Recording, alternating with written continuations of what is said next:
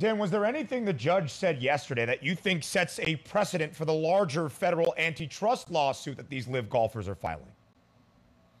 You know, I, I, really think it's to this question of money. An antitrust lawsuit seeks to kind of pay people back for, for financial harms, right? But at the end of the day, we, you don't need to be a lawyer, Ben, to understand this. Look at just the reported money. And even a guy like Tiger Woods is being offered $700 million to join the LIV Tour. Yeah. They have an endless pool of money. So the judge kept harping. And even when she wasn't saying it out loud and agreeing, she was nodding her head at, at the PGA Tour's arguments that these golfers are just making so much money by moving over.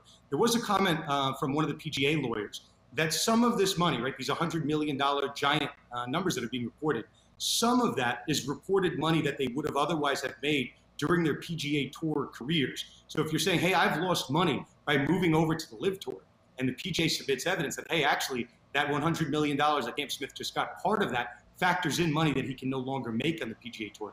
It's kind of taking, uh, you know, the LIV lawyers' legs out from under them. I think it's a strong point, and the judge seemed to agree with it.